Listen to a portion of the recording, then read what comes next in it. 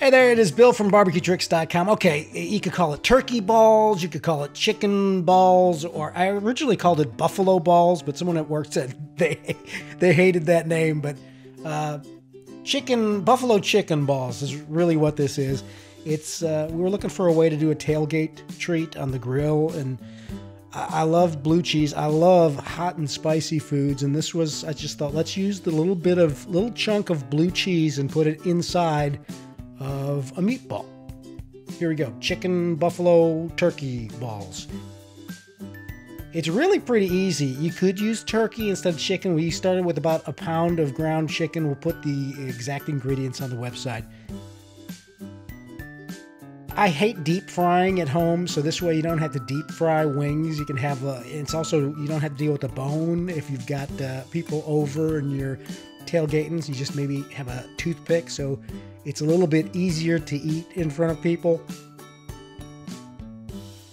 The one trick is actually getting a block of blue cheese instead of crumbles, instead of like just the, the dip. It's like blue cheese all on the inside. So really simple. Get a block of blue cheese, try and dice it up into small chunks. You can use about a, a pound of ground chicken,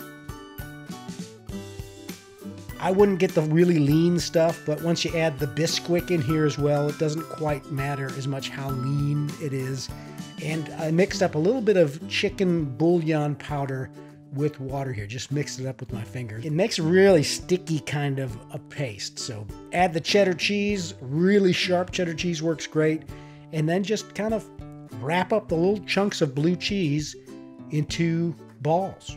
Try and get them right in the center so they cook evenly. You're wanting the balls to be cooked to an internal temperature of at least 160 degrees, but really with the uh, with the Bisquick in there, with the center in, of blue cheese, it's really not as scary actually as doing full as doing like a big cut of chicken. Really, it, it tends to cook a little bit better down. And then you're also heating it up again with some buffalo sauce, which in this case is really easy to do. Buffalo sauce is like the easiest sauce in the world to make because it's just like a, a, it's a it's a stick of butter and pretty much a bottle of your favorite hot sauce. Simple as that. And this and the cast iron is really good too because it gets pretty hot. You can put it right there on the grill, and then you can just dredge all those balls right there in the sauce on the grill. And if you want to serve it in that, just serve it in that, or glaze them again on the fire. Again, you just want to make sure you're hitting 160 degrees internal temperature, not too hard to do. And then maybe sprinkle them with a little bit of parsley, fresh parsley before you serve if you want to get fancy. Toothpick, that's all you need. Turkey, chicken, buffalo balls. Really good little tailgating recipe. In fact, if you want all the ingredients and the exact amounts, uh, just search it on out. Use head to the website and use the search term tailgate under recipes and it should come right up.